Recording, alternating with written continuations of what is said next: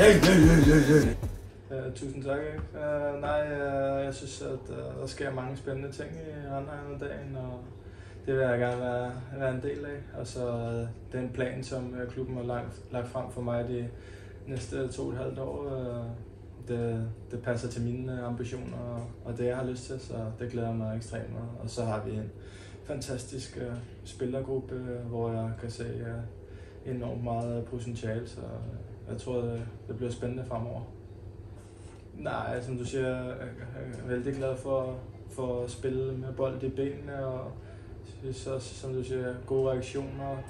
Øh, ja, god kommunikation med laget, øh, hjælper dem ofte, øh, god til at svibe. Øh, og så lagspiller, øh, så, så jeg er en vinder, så det er ligesom det, de får i mig.